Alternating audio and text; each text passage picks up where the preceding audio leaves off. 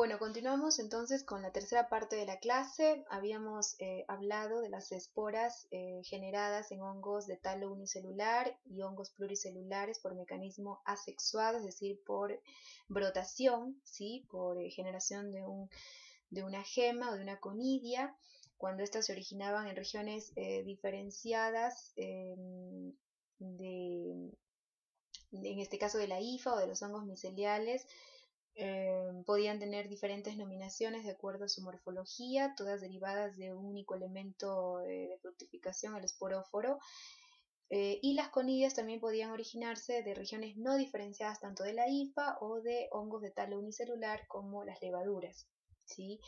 Em, en ese caso el elemento de fructificación es la conidia, ¿no? y la conidia podía tener distintas nominaciones según el tamaño, si es grande, si es chica, según la presencia de tabiques y el número de tabiques y la disposición de los tabiques y según el color podían ser hialinas o podían ser eh, pigmentadas. ¿no? Dentro de este último grupo reconocíamos un tipo especial, las feosporas, que son conidias oscuras. Entonces, esas esporas que, de, de, las cuales hablamos en la parte 2 son esporas originadas por un mecanismo de brotación, por lo tanto son asexuadas y eh, algunas eran externas, la mayoría, y otras eran internas. Ahora vamos a hablar de las esporas que se generan por un mecanismo sexuado. ¿Y qué significa esto? Que la espora va a ser el resultado de em, la fusión de dos células progenitoras, ¿sí? Em, cuando dos células aisladas tipo conidias o dos células em, tipo hifas, cuando son hongos filamentosos, emiten eh, eh, tubos de copulación eh, se fusionan y la fusión inicial es el citoplasma. Cuando se fusionan ambos citoplasmas, entonces se genera la fase de plasmogamia. Una vez que se fusionaron los citoplasmas, viene la fase de cariogamia, donde se fusionan los, los dos núcleos de ambas células progenitoras. Esta fase de cariogamia lleva a una fase diploide transitoria que luego va a quedar la espora con el número eh, inicial de, material genético tras una división por meiosis reduccional. De esta manera, em, las eh, células hijas van a ser, eh, cada célula hija va a ser una nueva espora, ¿no es cierto? Una nueva unidad de germinación. Entonces, un tipo de espora sexuada eh, e interna eh, son las ascosporas. Las ascosporas entonces son unidades de germinación que se originan por un mecanismo sexual, es decir, por la fusión de dos células progenitoras con eventos de plasmogamia, cariogamia, eh, mitosis transitoria seguida por una meiosis reduccional. ¿Y por qué son internas? Porque quedan contenidas en las células que las forman, que son los ascos. Em, y este, estos ascos, cuando se asocian unos con otros eh, y se rodean de, una estructura fibrilar, como es el plecténquima, se llaman ascocarpos. Los ascocarpos los vamos a reconocer únicamente en hongos miceliales. ¿Eso qué significa? Que las ascosporas las podemos encontrar en hongos levaduriformes, es decir, en hongos de talo unicelular, o las podemos también encontrar en hongos miceliales. En los hongos miceliales, solo en los hongos miceliales, estas ascosporas van a, quedar encerradas por estructuras em, fibrosas eh, rodeadas de plecténquima llamadas ascocarpos, ¿no? Y el ascocarpo, les había dicho en una fase, en una em, eh, parte inicial de la, de la clase, que de acuerdo a la forma que adoptan, pueden tener distintas nominaciones. ¿sí? Los ascocarpos solamente los reconocemos en hongos miceliales o filamentosos, ¿sí? Pero las ascosporas eh, o los ascos, que son las que contienen a las ascosporas, también pueden formarlas eh, hongos de talo unicelular, ¿sí?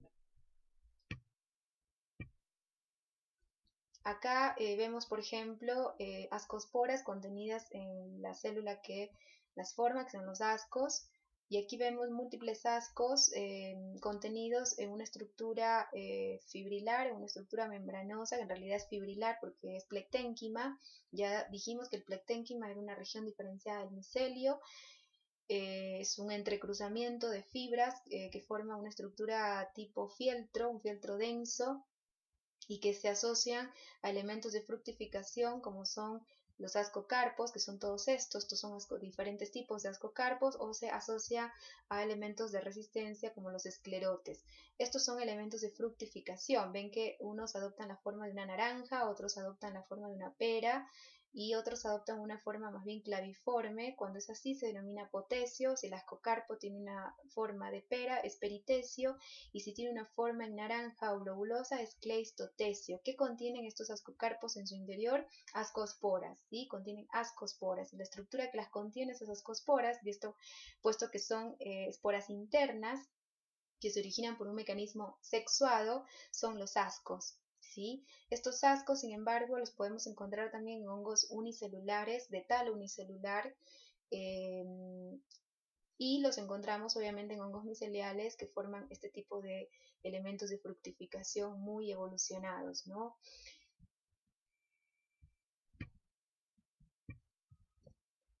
Otro tipo de esporas también generadas por este mecanismo sexual, es decir, tras la fusión de dos eh, núcleos, ¿sí? de dos células progenitoras, son los cigotes y las basidiosporas. Los cigotes son eh, esporas gigantes multinucleadas que pueden ser externas o internas. Las ascosporas serán solo internas o endosporas. Los cigotes pueden ser externos o internos y a su vez pueden ser homotálicos o heterotálicos. ¿Por qué? Porque el cigote únicamente se va a formar en hongos miceliales pero de micelio senocítico. Entonces, si las cifas que se fusionaron para formar un cigote provienen del mismo talo, se denominan homotálicos. Si las hifas que se fusionaron para formar esta espora llamada cigote provienen de talos o de cuerpos diferentes, se denominarán cigotes heterotálicos. ¿sí? Pueden ser internos o externos. Cuando son externos, cuando la fusión da origen directamente a este cigote y el mismo es enviado al exterior. Em, pero serán internos, estos cigotes se, desempeñarán como endosporas cuando se asocian y se rodean de estructuras plectenquimatosas. Ya saben que es un plectenquima. Lo importante que recuerden es que este tipo de espora, que puede ser interna o externa, y que es una, se presenta como una célula gigante multinucleada, eh, la vamos a reconocer únicamente en hongos de micelio cenocítico, es decir, de micelio sin tabiques o sin septos. Y otro tipo de espora sexuada em, es, la basidiospora, ¿sí? Y son, eh, en realidad son esporas externas las basidiosporas, ¿sí? Eh, son, se generan por un mecanismo sexuado, pero son externas. Recuerden, dentro de las esporas sexuadas tenemos las ascosporas, que son internas, eh, que las podemos reconocer en hongos de talo unicelular o talo pluricelular, los cigotes, que los reconocemos únicamente en hongos eh, pluricelulares de micelio cenocítico y pueden ser internas o externas, y las basidosporas son esporas sexuadas externas que nacen de células dilatadas llamadas basidios. Se encuentran en los hongos de la, de la, de la subdivisión de la basidionicotina.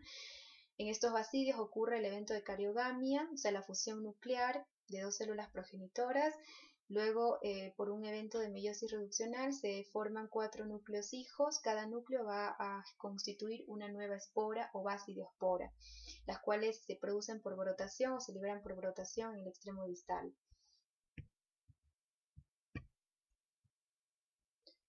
Bueno, eh, sobre la clasificación y la identificación de los hongos, eh, es importante conocer todas estas estructuras que, pudimos desarrollar eh, ustedes se preguntarán, ¿y para qué me sirve a mí conocer todas estas esporas? Si son sexuadas, si son asexuadas, si son internas, si son externas.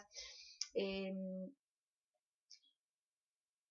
¿Para qué me sirve identificar eh, el cuerpo de un hongo, si es de tal unicelular, si es pluricelular, si es filamentoso, si es levaduriforme?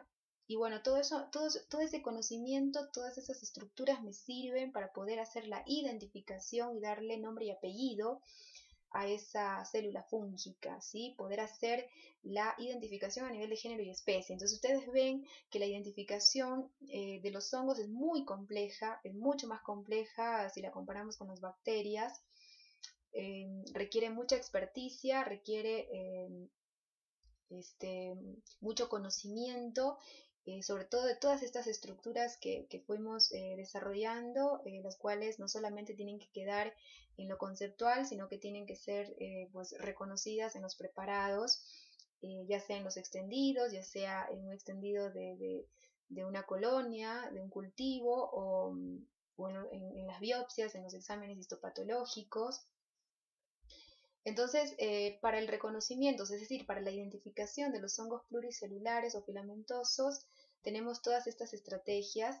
Em, una de ellas es basada en la micromorfología, en la micromorfología, ¿qué es lo que tengo que reconocer? Tengo que reconocer todas estas estructuras para hacer la identificación, saber cuándo es un hongo micelial senocítico, cuándo es un hongo micelial septado, em, y en función del tipo de fructificación, del tipo de espora que se observe, si es sexuada, si es asexuada, podemos ir afinando en la clasificación o la identificación, la taxonomía, y eh, las características del talo y del micelio también son importantes dentro de la, del estudio de la micromorfología para hacer la eh, clasificación o la identificación de hongos pluricelulares. Eh, igualmente, el reconocimiento de un hongo pluricelular por todas estas formas estructurales es, corresponde a métodos fenotípicos convencionales, que hoy en día ya no son tan utilizados porque son muy artesanales y requieren mucha eh, experticia por parte del operador, eh, mucha, eh, mucha experiencia, ¿sí? así que hoy en día básicamente los métodos que se utilizan para clasificar a los hongos pluricelulares, para identificarlos, son las pruebas moleculares basadas en la información contenida en el ADN, que de hecho el desarrollo de la biología molecular permitió clasificar correctamente eh, hongos que antes eran clasificados como parásitos, como el caso de Pneumocystis girovesi, em, que antes era clasificado como un parásito y que hoy se sabe que es un hongo, eh, y eso eh, se, lo, se, lo, logró gracias a los avances en biología molecular. Em, y Pneumocystis girovesi, por ejemplo, es un hongo em, que es incultivable. Entonces la única forma, la única manera de poder estudiarlo, de poder identificarlo es por biología molecular. Em, la macromorfología, o sea, el aspecto de las colonias, te puede servir para discriminar eh, si es un hongo filamentoso si es un hongo tipo levadura, es un hongo de tal unicelular, pero no te permite ir más allá. ¿sí? Para ir más allá, para poder hacer eh, una mejor descripción en cuanto al nombre y el apellido del hongo que estamos enfrentando, eh, tengo que utilizar esto, ¿no? la micromorfología y eh, las pruebas moleculares basadas en la información contenida en el ADN. En el caso de los hongos unicelulares, eh, de talo unicelular como las levaduras, la macromorfología en realidad no es muy útil porque casi todos tienen el, mismo patrón de colonias. Sí me sirve para discriminar de un hongo filamentoso, por ejemplo, lo que más eh, se utiliza para poder hacer la identificación de hongos de tal unicelular es, esto, la micromorfología, las pruebas bioquímicas, eh, como por ejemplo un cromagar cándida, o por ejemplo un API de la Biomerius, que en función de reacciones enzimáticas de, la fisiología del microorganismo podemos establecer eh, su identificación, ¿no? darle nombre y apellido eh, de, definir si, si, es una especie de Candida albicans, si es Candida parapsilosis, si es Candida dulinensis, si es Candida tropicalis, y las pruebas moleculares que son útiles eh, sobre todo cuando existen eh, cuestiones mm, difíciles de, discriminar, como pasa con el complejo Candida parapsilosis, que está formado, Candida parapsilosis es un hongo levadura, es un hongo levaduriforme, eh, que está formado, es un complejo de tres especies, eh, Candida parapsilosis, senso estricto, Candida ortopsilosis, Candida metapsilosis, pero son tres especies que fenotípicamente son indistinguibles, generan el mismo patrón de macroscópico de morfología de colonia, generan un mismo patrón de micromorfología, ¿sí? las pruebas bioquímicas también son similares, eh, no hay manera de, discriminar las especies que integran este complejo por pruebas fenotípicas como estas. Entonces la única manera de hacer esta discriminación es con pruebas moleculares como la PCR, eh, para poder hacer eh, la identificación a nivel de especie y definir si se trata de Candida parapsilosis en su estricto o se trata de Candida ortopsilosis o si se trata de Candida metapsilosis.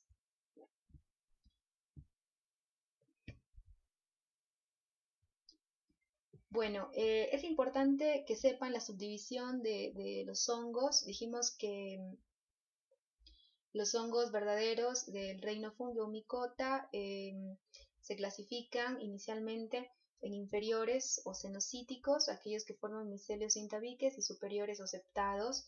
Los inferiores o cenocíticos son todos estos, eh, pertenecen a estas subdivisiones que no tienen importancia médica, por eso no se los aborda a nivel médico.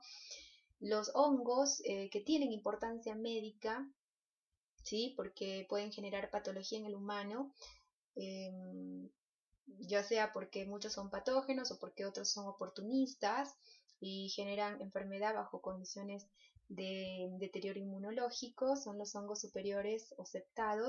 Todos estos hongos que son de importancia médica, todos generan, em, cuando son eh, filamentosos, em, generan hifas septadas, hifas tabicadas, ¿no? ¿Cuáles son los de importancia médica respecto a la, subdivisión? Bueno, entonces dentro de del reino fungi, hongos superiores septados, em, las subdivisiones de importancia médica corresponden a la cigomicotina, eh, a ascomicotina o ascomicota, la basidiomicotina y la deutromicotina o deutromicota. Esta subdivisión deutromicota es la que engloba los hongos de importancia no solo médica, sino también de importancia ontológica. Estas tres subdivisiones incluyen hongos que no tienen importancia ontológica, los que tienen importancia ontológica están agrupados en esta subdivisión que es la deutromicota, la deutromicota. Eh, en esta subdivisión entonces vamos a encontrar, por ejemplo, hongos eh, que todos ellos son de reproducción únicamente asexuada, ¿sí? En cambio, en estas otras subdivisiones de la cigomicota, de la ascomicota o de la basidомicota, eh, vamos a encontrar eh, fundamentalmente hongos de reproducción sexuada, pero en la cigomicota vamos a reconocer también hongos de reproducción asexuada. O sea, la cigomicota es una división que engloba hongos de reproducción sexuada y hongos de reproducción asexuada.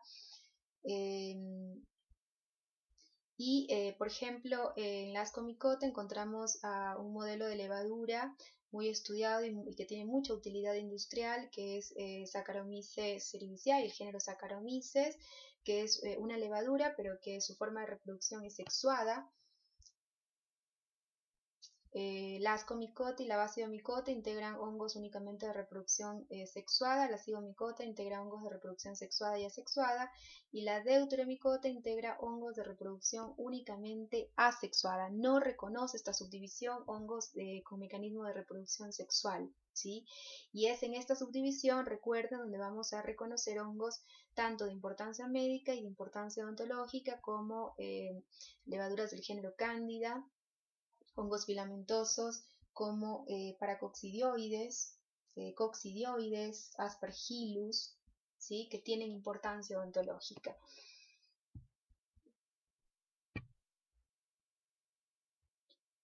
Bueno, sobre el metabolismo fúngico, eh, ¿qué tenemos para decir? Eh, ya muchas cosas hemos dicho. Recuerden que a nivel metabólico los hongos pueden ser usadores de la sustancia orgánica viva, de la sustancia orgánica muerta, por eso son heterótrofos, porque pueden utilizar la sustancia orgánica viva cuando son parásitos o pueden usar la sustancia orgánica muerta para obtener los nutrientes, en este caso son saprobios, y desde el punto de vista de sus reacciones de óxido-reducción, los hongos son bastante versátiles, eh, se desarrollan mucho mejor en ambientes aerófilos, aireados o oxigenados, pero también se desarrollan en entornos o atmósferas microaerófilas, eh, inclusive atmósferas anaerobias, también son toleradas por muchos hongos. Eh, el rango de temperatura en el cual se desarrollan es bastante amplio, va de 5 a 45 grados centígrados. Sin embargo, el crecimiento óptimo de los hongos se da en este rango de 20 a 38 grados centígrados. Entonces, ¿esto para qué me sirve?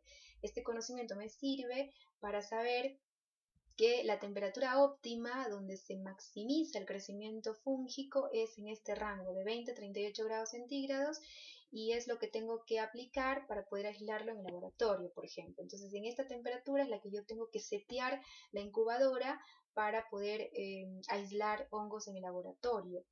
Eh, el pH eh, es importante para el medio de cultivo, ¿no? Entonces, el pH al cual se desarrollan los hongos es bastante amplio también, va desde, toleran pHs ácidos como 2 a pHs alcalinos como 8, pero el crecimiento óptimo de, los hongos se sabe que es en un rango un poco más estrecho, que va de ligeramente ácido 5.6 a 7.2 pH neutro. Este es el mejor pH en el que yo tengo que elaborar el medio de cultivo para favorecer el crecimiento óptimo de los hongos.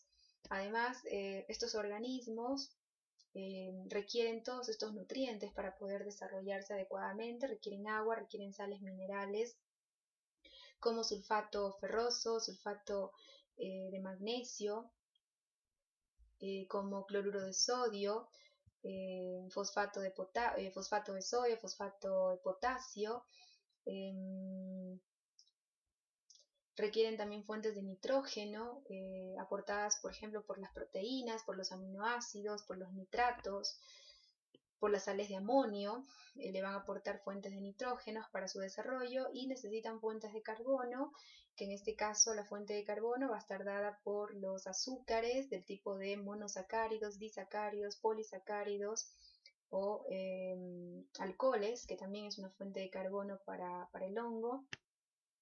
Entonces, ¿para qué me sirve a mí saber esto? Que estos nutrientes necesita el hongo para desarrollarse, para yo poder aportárselos en el medio de cultivo y eh, aislarlo, por ejemplo, in, vitro o en el laboratorio.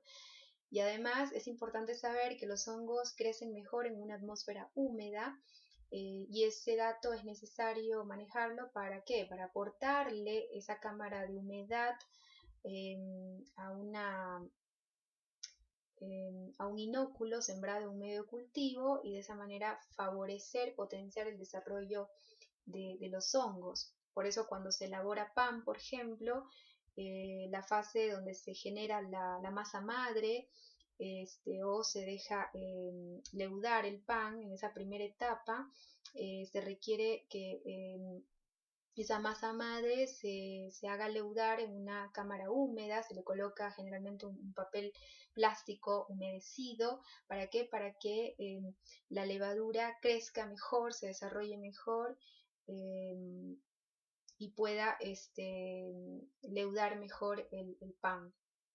Así que ese dato es importante. La humedad es necesaria para todo hongo, ¿sí? Va a potenciar su crecimiento. Y en cuanto a la metabolización de la fuente de carbono, eh, los hongos pueden utilizar una vía oxidativa o una vía fermentativa para, eh, la fuente de carbono. Em, eso de qué va a depender, de qué va a depender si activa una vía de oxidación o una vía de fermentación, va a depender de las condiciones eh, atmosféricas, si el hongo está desarrollándose en un entorno, una atmósfera eh, netamente oxidante, es decir, aeróbica, estrictamente aeróbica, entonces la vía que va a activar para eh, metabolizar eh, los, los, polisacáridos, que son la fuente de carbono, por ejemplo, los azúcares, va a ser la vía oxidativa. esta vía oxidativa le va a llevar a generar como producto final agua y CO2, pero si el hongo se está desarrollando en una atmósfera em, microaerófila o anaerobia va a activar eh, predominantemente esta vía fermentativa que le va a permitir metabolizar la fuente de carbono como los polisacáridos y generar como producto final ácidos y alcoholes. Bueno, ¿cómo aislar hongos en el laboratorio para el diagnóstico de una micosis? ¿Qué necesitamos? Necesitamos un medio de cultivo que le aporte todos los nutrientes, eh, pH, la fuente de carbono, la fuente de nitrógeno, las sales minerales que necesita el hongo para desarrollarse. Em, este medio se le agrega antibióticos para qué? Para hacerlo selectivo al crecimiento fúngico y evadir, evadir el crecimiento bacteriano. Entonces, eh, para ello, ¿qué se, se hace? Se le agrega antibióticos como gentamicina, en esta concentración de 5 a 10 miligramos por mililitro o cloranfenicol en una concentración de 16 miligramos mililitro. Si yo quiero evitar el crecimiento de hongos eh, ambientales, eh, le puedo agregar además al medio cultivo cicloheximida a esta concentración, 0,5 miligramos mililitro, para eh, prevenir la contaminación con hongos ambientales.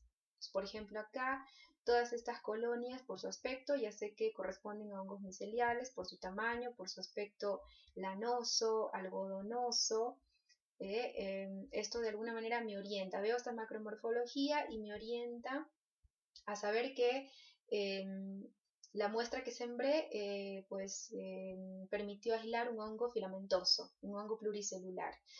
Pero no basta esto para hacer la identificación, necesito algo más. Entonces, ese algo más puede ser la micromorfología o la biología molecular.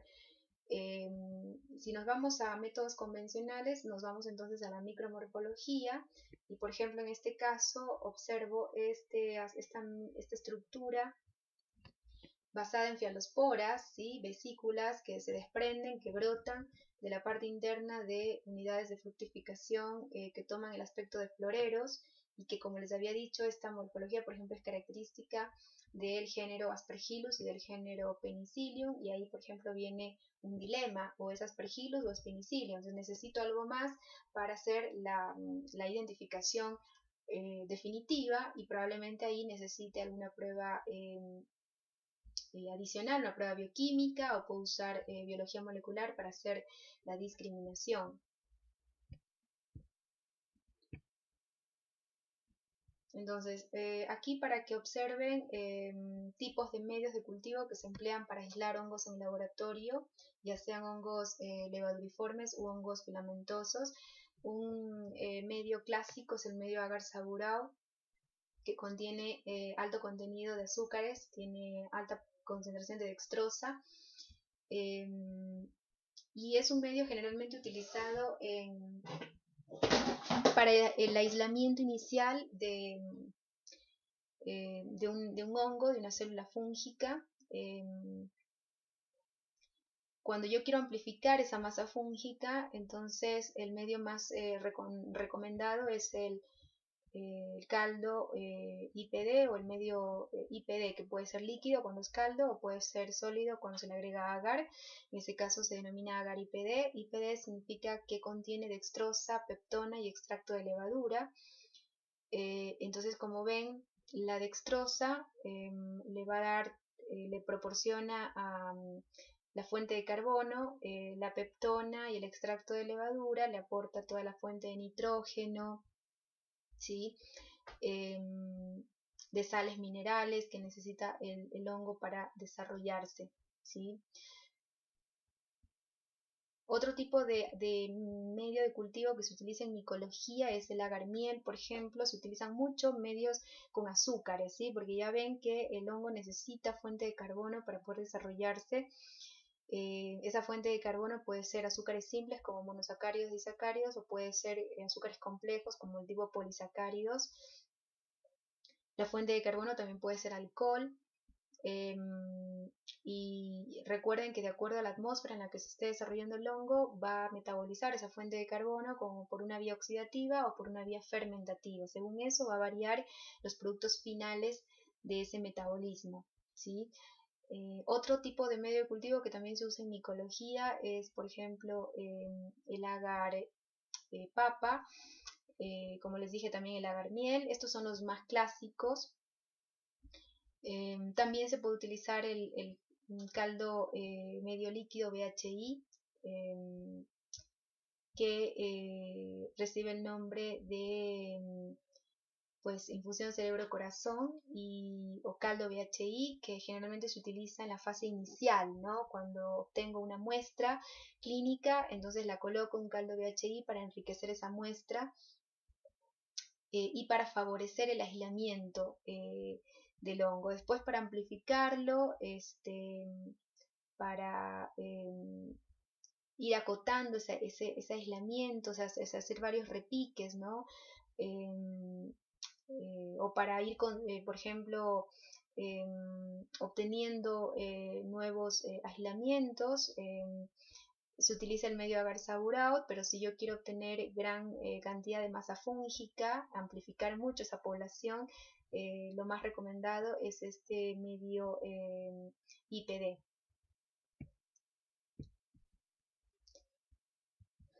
Bueno, hablamos del dimorfismo, Em, y el pleomorfismo, que son fenómenos que pueden em, exhibir hongos de tipo filamentosos cuando em, se exponen a condiciones eh, cambiantes del medio. Recuerden que el dimorfismo expresa una eh, estrecha asociación entre la morfología y la, fisiología del hongo. La fisiología del hongo está condicionada por las condiciones del medio en el, cual se está desarrollando y se ha demostrado que existe una estrecha asociación entre la fisiología y la morfología fúngica. Entonces, si varían las condiciones del medio, puede variar la morfología, pero eso se ha visto fundamentalmente en hongos con capacidad filamentar, ¿sí? como Candida albicans, se ha visto también en hongos em, pues ambientales, hongos em, eh, dimórficos como eh, Paracoccidioides brasilensis, Histoplasma capsulatum, eh, ¿Cómo puedo obtener el dimorfismo fúngico in vitro? Em, bueno, em, por ejemplo, em, mediante la eh, incubación de, un medio de cultivo eh, inoculado, en este caso con un hongo que yo sé que es dimórfico, si la incubación la realizo a 35 o 37 grados centígrados en una cámara gaseada con un 5 a 10% de CO2, y si la siembra la realicé en un medio que contiene como fuente de carbono monosacáridos o disacáridos y proteínas con aminoácidos ricos en uniones disulfuro como la cisteína, voy a obtener un crecimiento con fase de talo unicelular brotante. O sea, si el hongo era micelial, ¿sí? Pero si yo lo eh, incubo en estas condiciones atmosféricas y en un medio de cultivo, con eh, una fuente de carbono basada en azúcares simples como monosacáridos y disacáridos, voy a obtener como resultado una fase de talo unicelular, es decir, un crecimiento tipo levadura, cuando inicialmente es un hongo filamentoso. ¿Cómo puedo obtener el pleomorfismo in vitro? Bueno, em, recuerden que el pleomorfismo era causado por una mutación irreversible que eh, lleva o que da lugar a que el hongo micelial, eh, formador de colonias algodonosas eh, mm, o lanosas, pierda totalmente sus órganos de reproducción. Em, y bueno, para obtener un pleomorfismo in vitro en el laboratorio, se lo obtiene o se lo logra en medios ricos en monosacáridos o disacáridos y eh, se requiere una incubación por mucho tiempo. ¿no? Eh, la incubación por mucho tiempo puede dar lugar, frente a esta condición de sustrato, puede dar lugar a que el hongo acumule mutaciones irreversibles que le lleven a perder sus eh, elementos de reproducción o de esporulación. Bueno, sobre el examen, el examen microscópico de los hongos, entonces para hongos del género Candida, se puede utilizar eh, este, tipo de tinciones que ya lo dijimos para la visualización en fresco. el extendido puede ser coloreado con azul de metileno o con yensa o se puede también realizar eh, la identificación por contraste con tinta china. Em, esto cuando se trata de un extendido, ¿no? Eh, si yo, el extendido proviene de una colonia crecida en un medio de cultivo, entonces eh, son las mismas opciones de tinción, puedo usar azul de toluidina, puedo usar eh, azul de metileno, puedo usar yensa o tinta china, eh, pero si la identificación de hongo del género cándida yo quiero hacerla en un examen histopatológico, un corte histopatológico obtenido a partir de una biopsia, entonces en ese caso se recomienda la tinción con PAS con ácido perico de Schiff. Así que PAS, recuerden, es una tinción muy usada para la identificación de hongos en cortes histopatológicos. Em, ¿Por qué? Porque eh, PAS tiene una alta afinidad para unirse a, los azúcares presentes en la pared celular del hongo, que dijimos que eran los glucanos, los mananos, ¿no? Y eh, para mm, el examen microscópico de hongos pluricelulares, eh, básicamente se, usan las mismas técnicas de tinción, o sea, los mismos colorantes, pero em, El procesamiento de un hongo pluricelular, de un hongo micelial, es mucho más compleja, requiere técnicas de disociación para poder separar bien las hifas, ya que el, aire formado en, el micelio no va a permitir hacer la identificación. ¿Sí? Entonces es necesario primero hacer una disociación para separar bien las hifas. Esto se lo logra con el uso de un líquido de montar como eh, el azul de cotton lactofenol que va a permitir quitar todo el aire contenido en el micelio y de esa manera la tensión puede penetrar adecuadamente y va a permitir la observación de las estructuras.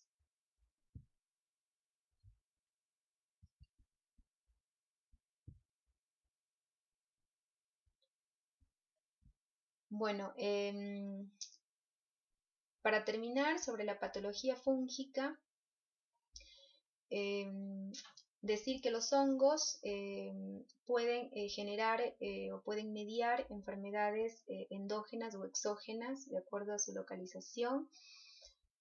Las exógenas son en este caso causadas por la colonización del hongo y su desarrollo, su multiplicación a nivel de la piel y las, faneras o las membranas mucosas. Al hablar de faneras hablo de uñas y cabello. Eh, y la infección endógena eh, es cuando eh, el hongo logró invadir en profundidad y llegó a alcanzar vía torrente sanguíneo órganos profundos, como por ejemplo el hígado, como por ejemplo el riñón, ¿sí? o se fue al pulmón. Em, las enfermedades fúngicas exógenas, cuando son exógenas, puede darse la transmisión, el contagio por em, este contacto directo con otra persona este, o por eh, usar, eh, por ejemplo, em, no sé, compartir los zapatos, por ejemplo, ¿no? Eh, elementos de, de, uso íntimo, puede darse este contagio, em, pero no pasa lo mismo para las infecciones fúngicas, las infecciones profundas em, o sistémicas, en ese caso, para hacer una infección eh, profunda, eh, una micosis profunda, se necesita sí o sí eh, pues, un, un, hospedador inmunocomprometido. ¿sí?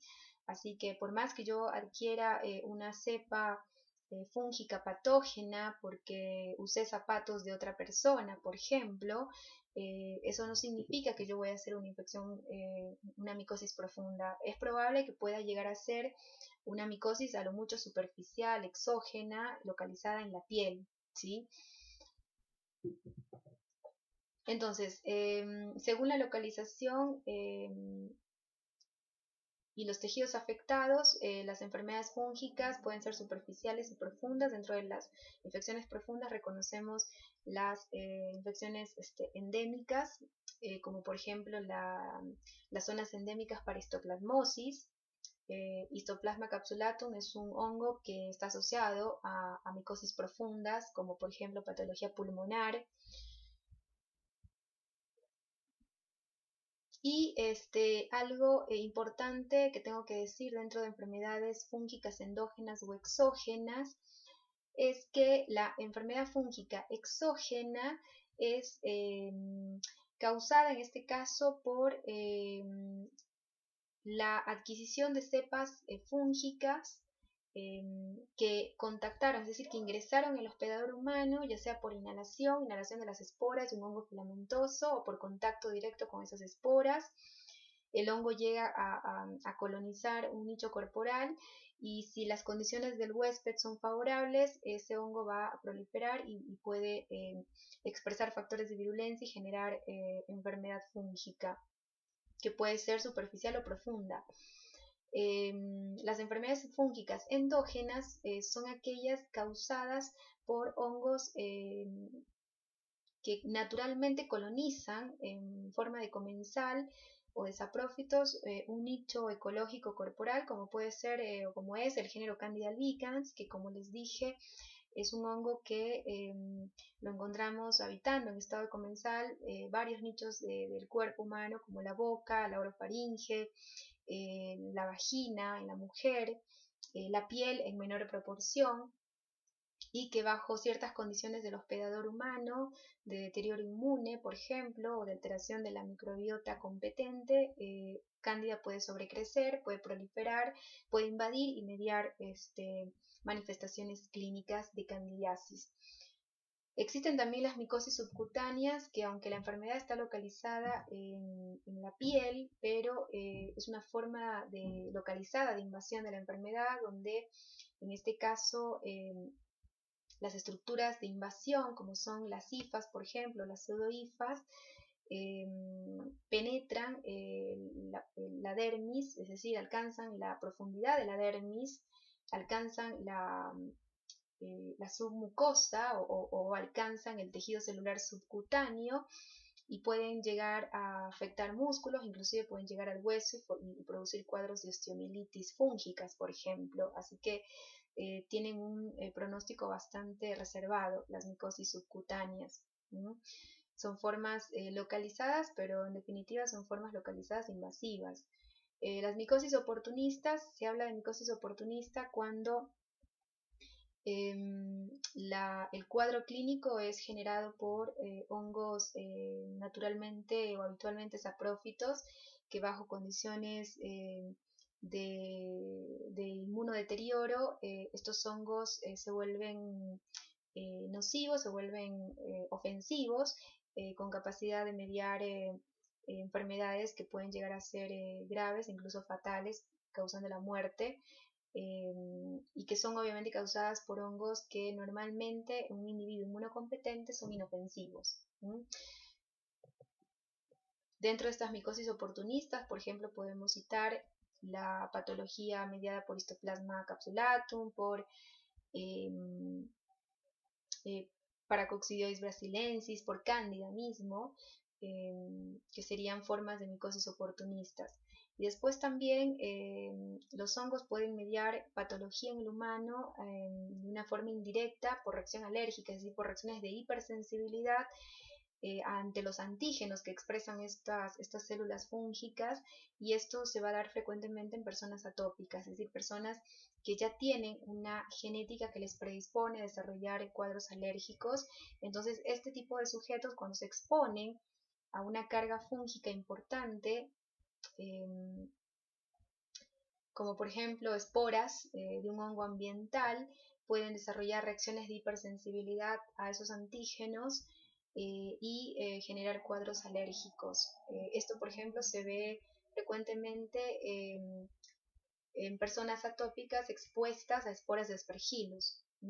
Aspergillus es un tipo de hongo que puede causar patología fúngica por reacciones de hipersensibilidad, eh, pero también lo puede hacer por proliferación e invasión y lo puede hacer también por las toxinas que libera directamente.